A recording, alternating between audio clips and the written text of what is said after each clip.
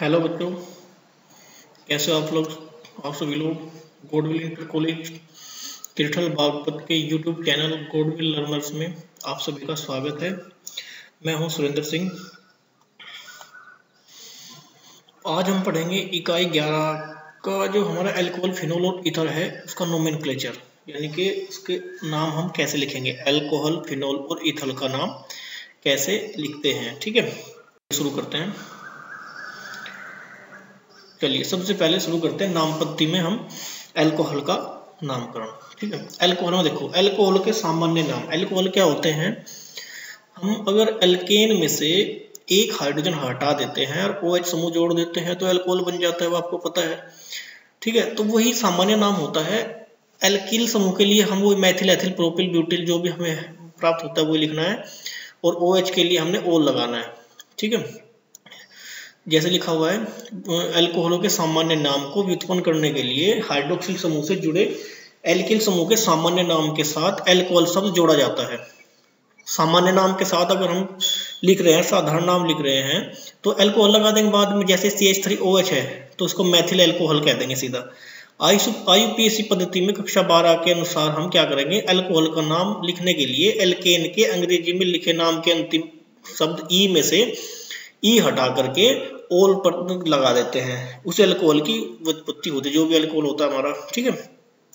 सबसे लंबी कार्बन श्रृंखला अगर हमारे पास है तो उस सिरे से कार्बन श्रृंखला का नामकरण शुरू करते हैं, जो हाइड्रोक्सिल समूह के समीप होती है, यानी कि जहाँ से जो कार्बन हाइड्रोक्सिल समूह, यानी कि OH समूह के पास होता है। OH समूह तथा अन्य प्रतिस्थापियों की स्थितियाँ उस कार्बन परमाणु के क्रमांक को प्रयुक्त कर दर्शाई जाती है। अब हमारे ओ OH समूह जहाँ लगे हुए हैं, वहाँ पे लिख देंगे अगर जैसे तीन नंबर पे लगा है या दो नंबर पे लगा है तो टू ओ लिख देंगे। तीन नंबर पे लगा है तो थ्री ओ लिख देंगे, जिससे वे जुड़े होते हैं उसी तरीके से। वही सामान्य नाम जो आपको इलेवेंथ में पढ़ाए गए हैं, उसी तरीके, ठीक है? पोलीहाइड्रिक एल्कोहलों का नामकरण। पोलीहाइड्रिक मतलब इसमें एक से ज़्यादा ओ OH समूह होते हैं। उनका नाम लिखने के लिए एल्केन के अंग्रेज़ी के नाम के अंतिम ई शब्द को हटाकर ओल जोड़ दिया जाता है। ओ OH समूह की संख्या को ओल से पहले गुणात्मक पूर्ण डाई, ट्राई आदि लगाकर इंगित किया जाता है। अगर किसी में दो ओ एच समूह है तो डाई लगा देंगे। तीन है तो ट्राई, चार है तो टेट्रा, पाँच है तो पेंटा। इस तरीके से हम कर सकते हैं। जैसे हमारे पास एग्ज़ाम्पल है, O H, C H two, C H two, O H. तो हमारा दो कार्बन है और दो पहले कार्बन पे भी ओ एच है दूसरे पे भी। तो इसका हम नाम हो जाएगा ethane one comma two diol ठीक है? इसके बाद एल्कोहलों के सामान्य आयुपीएसी नाम। कुछ मैंने एग्ज़ाम्पल दिए यहाँ पे उसको देखते हैं चलो। सबसे पहले यौगिक होगा फिर साम, उसका फिर सामान्य नाम होगा फिर आईपीसी नाम होगा। जैसे पहला एग्जांपल है हमारा C H three O H इसका साधारण नाम है मैथिल एल्कोहल इसमें आईयूपीसी नोमेनक्लेचर में इसको हम कहेंगे methanol meth plus an plus ol दूसरा एग्जांपल है, दूसरा एग्जांपल है हमारा C H three C H two C H two O H तो इसको एन प्रोपिल एल्कोहल इसका साधारण नाम है। और इसका आईपीसी नाम होगा, देखो वन कार्बन पे ओ एच जुड़ा हुआ है तो प्रोपेन वन ओल तीन कार्बन के लिए प्रो सिंगल बॉन्ड के लिए एन और ओ एच समूह के लिए ओल और वन आया हमारा वन कार्बन पे जुड़ा हुआ है इसके लिए। ठीक है? Next example C H three C H C H three O H तो ये जो हमारा साधारण नाम होगा इस एल्कोहल का, इसका नाम होगा आइसोप्रोपिल एल्कोहल ठीक है? अब तुम देखो इसको लेफ़्ट साइड से शुरू करो या राइट साइड से शुरू करो? दोनों साइड से हमारा ओ OH मध्य में आ रहा है। तो इसको टू नंबर टू नंबर पे है तो इसको लिखेंगे, तीन कार्बन के लिए क्या लगाते हैं? प्रोप प्रोप प्लस एन और कितने नंबर पे ओ OH टू पे? तो प्रोपेन टू ओल हमारा हो जाएगा। नेक्स्ट एग्ज़ाम्पल है हमारा। चार कार्बन से OH जुड़ा है प्रथम स्थान पर, ठीक है? तो इसको कहेंगे हम एन ब्यूटिल एल्कोहल इसका साधारण नाम है। और आईपीसी नाम हो जाएगा इसका। पहले कार्बन से जुड़ा है तो ब्यूटेन वन ओल ब्यूट कितने कार्बन के लिए लगता है? चार के लिए वन पहले उस स्थान पर जुड़ा हुआ है, उसके लिए लगा है। और ओल ओ OH समूह के लिए लगा है, ठीक है? नेक्स्ट एग्ज़ाम्पल है C H three C H C H two C H three और दूसरे नंबर पे ओ OH जुड़ा हुआ है। तो द्वितीय ब्यूटिल एल्कोहल इसको हम कहते हैं, इसका साधारण नाम है और आईपीसी नाम इसका हो जाएगा। कितने कार्बन है टोटल चार। तो चार कार्बन के लिए क्या लगाते हैं? एथ मैथ प्रो ब्यूट तो ब्यूट सिंगल बॉन्ड है तो प्लस एन और कितने नंबर पे ओ एच टू पे। तो ब्यूटेन टू ओल हमारा इसका नाम। है ठीक है नेक्स्ट एग्ज़ाम्पल हम देखते हैं। C H three C H C H three C H two O H ठीक है, अब देखो, कई बार ऐसा होता है कार्बन की श्रृंखला में से कोई श्रृंखला निकली होती है कार्बन की तो हम उसको साइड वो कहते हैं साइड चैन कहते हैं, ठीक है। अब उसमें साइड चैन को हम एल्किल समूह की भांति लिखेंगे। जैसे हमारा एक एग्ज़ाम्पल है, तीन कार्बन की लंबी श्रृंखला है और दूसरे कार्बन से सी थ्री जुड़ा हुआ है, पहले कार्बन से ओ जुड़ा हुआ है। तो कोई दिक्कत नहीं, इसका सामान्य नाम तो हो जाएगा आइसोब्यूटिल एल्कोहल और आईयूपीएसी नाम हो जाएगा।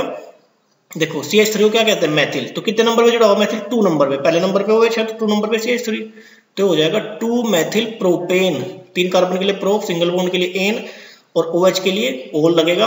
ओ OH पहले नंबर पे जुड़ा था प्रोपेन वन ओल इसका नाम हो जाएगा two methyl propane one ol IUPAC नाम में देखो। नेक्स्ट एग्ज़ाम्पल हमारा, देखो।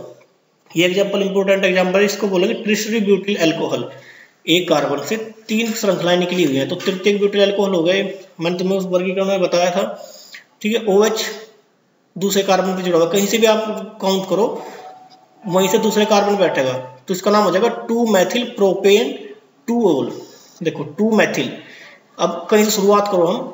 वन टू और थ्री तो टू मैथिल एक मैथिल साइड में बचता है। यानी कि ऊपर से ले लो, सबसे ऊपर से श्रृंखला लो, जहाँ शुरुआत है। वन टू थ्री और टू पे क्या आ गया सी एच थ्री और वन टू पे आ गया ओ OH तो two methyl propane two ol इसका नाम हो जाएगा।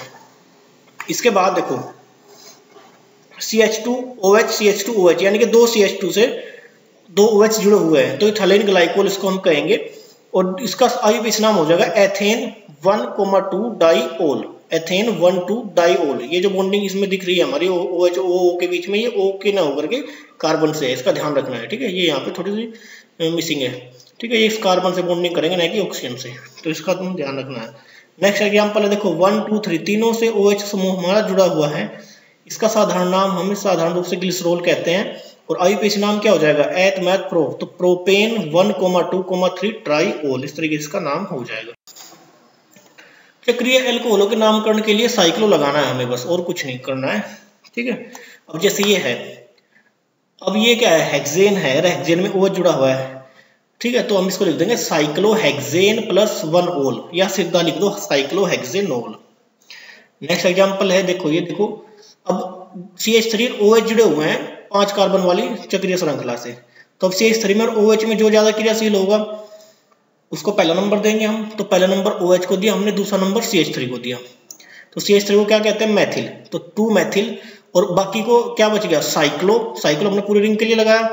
पेंट पाँच कार्बन की रिंग है तो cyclo pent plus an single bond है प्लस ओल तो ये हो गया टू मैथिल साइक्लो पेंटेनोल ठीक है? इसके बाद फिनोल का नामकरण हम करते हैं। देखो बेंजीन का सबसे सरलतम हाइड्रोक्सिल व्युत्पन्न फिनोल है। यह है इसका सामान्य नाम तथा आयुपीसी द्वारा अनुमत नाम भी है। मतलब फिनोल को हम क्या कहते हैं? फिनोल ही कहते हैं। क्योंकि फिनोल की संरचना में बेंजीन वलय होती है, अतः इसके प्रतिस्थापित यौगिकों में ऑर्थो अगर पहली और दूसरी सिचुएशन पे है तो हम ऑर्थो लगाएँगे। मेटा है पहली और तीसरी पे है, पैरा है तो पहली और चौथी पे हम इसमें नाम प्रयुक्त करेंगे, ठीक है?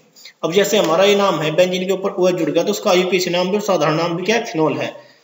दूसरा, हमारा फिनोल के उसमें, श्रृंखला में बेंजीन में एक सी एच थ्री और जुड़ जाता है तो इसका साधारण नाम है ऑर्थोक्रिसोल और आईयूपीसी नाम हो जाएगा इसका टू मैथिल फिनोल क्योंकि तुम्हें पता है ओएच में और सी एच थ्री में कौन ज़्यादा क्रियाशील है? ओएच तो ओएच को पहला नंबर देंगे तो तो ये हो गया फिनोल और दूसरे नंबर पे आएगा मैथिल तो टू मैथिल फिनोल इसका नाम हो जाएगा। नंबर नेक्स्ट हो जाएगा। अब के बाद तीसरे नंबर पहुँच गया। ओएच जो था पहले पे, फिर दूसरे पे एक कॉर्नर है तीसरे पे सी थ्री हो गया। इसका साधारण नाम मेटाक्रिसोल हो गया।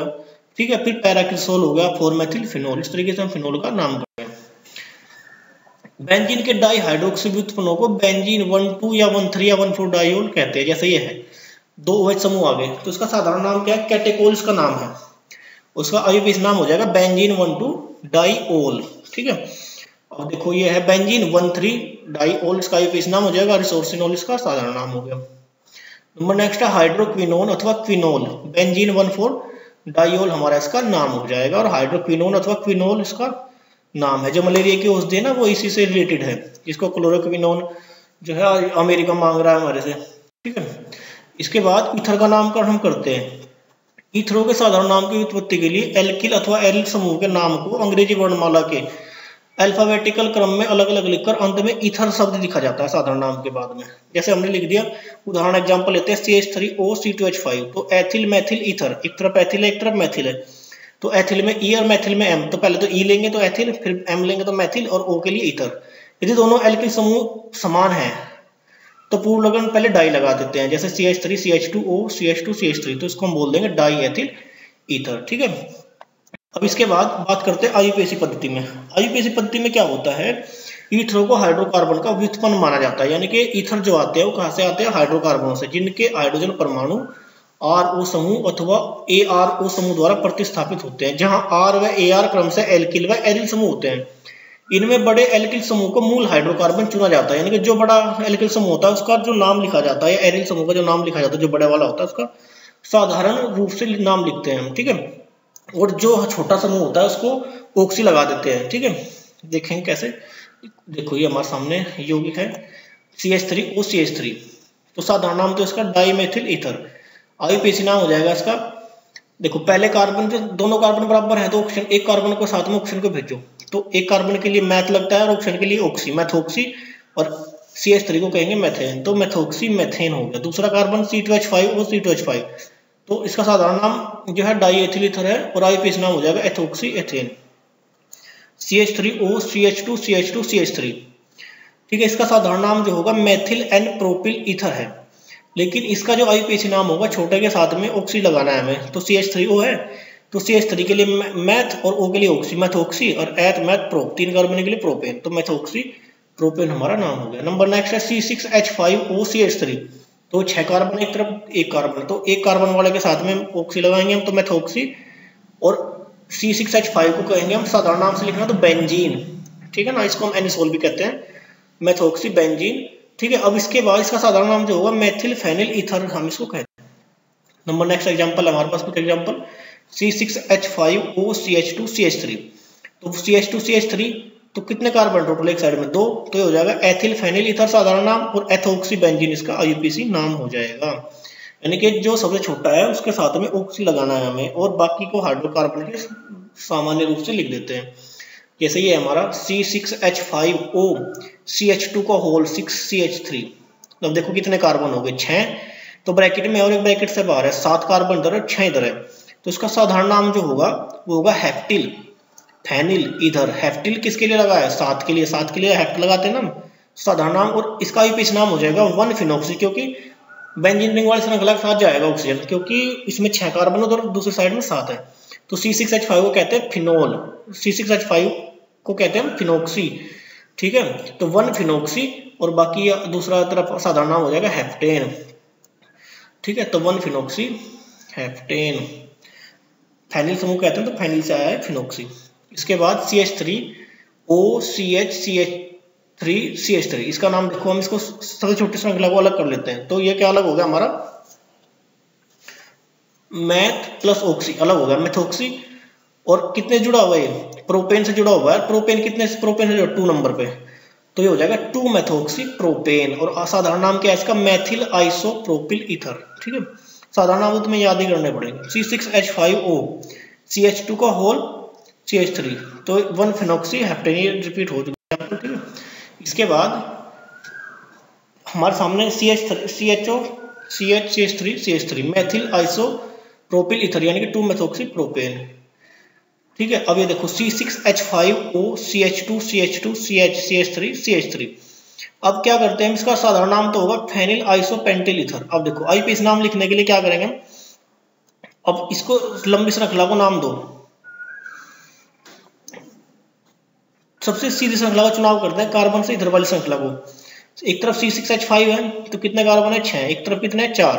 तो चार कार्बन वाले के साथ में ऑक्सी जोड़ेंगे।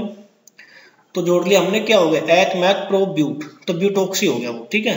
और ब्यूटोक्सी वाली श्रृंखला में ही क्या जुड़ा है? टू नंबर पे मैथिल जुड़ा है। सॉरी वन टू थ्री का इसी ऑक्सीजन की साइड से नंबर देंगे तो तीन नंबर में मैथिल जुड़ा है। तो ये हो गया three methox three methyl butoxy और सी सिक्स एच फाइव क्या कहते हैं हाइड्रोकार्बन में बेंजीन, ठीक है?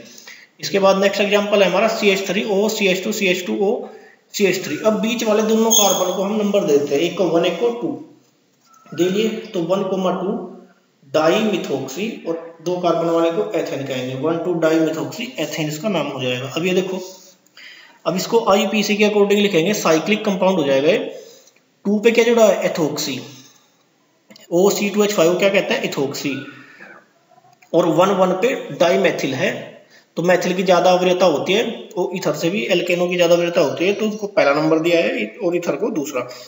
तो one one sorry two ethoxy क्योंकि एबीसीडी के हिसाब से लिखते हैं ना two ethoxy one one dimethyl क्योंकि इसमें इथोक्सी ई से है और मैथिल एम से है तो इसलिए ई पहले आएगा। तो two ethoxy one one dimethyl और कितने साइक्लिक कंपाउंड है छह तो इसको क्या कहते हैं? साइक्लोहेक्सेन इसका नाम हो गया। इसके बाद है, आपको निम्नलिखित यौगिक का आईपीसी नाम लिखना है? जैसे होगा C H three C H C L C H C H three C H C H three C H two O H तो उसका आईपीसी नाम क्या हो गया? Four chloro two three dimethyl pentane one ol दूसरा example है C H three C H C H three O C H two C H three ठीक है? इसको लिखना है, आपको वीडियो को पोज करना है और लिखना है। ठीक है? इसका सही नाम क्या होगा? टू एथोक्सी प्रोपेन इसके बाद नेक्स्ट एग्जांपल है हमारा बेंजीन के ऊपर ओ OH लगा हुआ है सी एच लगे हुए दो साइड में। तो इसका नाम हो जाएगा two six diphenyl sorry two six dimethyl phenol number next है NO2 और OC2H5 हेक्सेन से जुड़ा हुआ है। ठीक है? पोज करो वीडियो को, बनाओ नाम। ये हो गया हमारा वन एथोक्सी टू नाइट्रोसाइक्लोहेक्सेन ठीक है? अब निम्नलिखित यौगिकों को आईपीएस नाम लिखने हैं आपको, जो आपके सामने चार एग्ज़ाम्पल है इन चारों के जो है, नाम लिखने हैं और हमें व्हाट्सअप करने हैं नाम लिखकर। अपना नाम लिख के क्लास लिख के रोल नंबर लिख के, और इन चारों के जो है आंसर लिख के, सर के मोबाइल नंबर पे प्रधानाचार्य जी के मोबाइल नंबर पे व्हाट्सअप करना है, ठीक है? अपना नाम रोल नंबर और क्लास और इनके आंसर ये एग्ज़ाम्पल भी लिखने हैं, जो हमारे जिस एग्ज़ाम्पल है तो हमने नाम जो बनाया है, ठीक है? पहला एग्ज़ाम्पल लिखो, उसके नीचे भी उसका नाम लिखो। ठीक है? कोई दिक्कत हो तो आप पूछ सकते हो। थैंक यू और नेक्स्ट वीडियो इसी वीडियो को हम आगे कंप्लीट करेंगे क्योंकि चैप्टर अभी कंप्लीट नहीं हुआ है। ठीक है? थैंक यू धन्यवाद। मिलते हैं नेक्स्ट नई वीडियो में।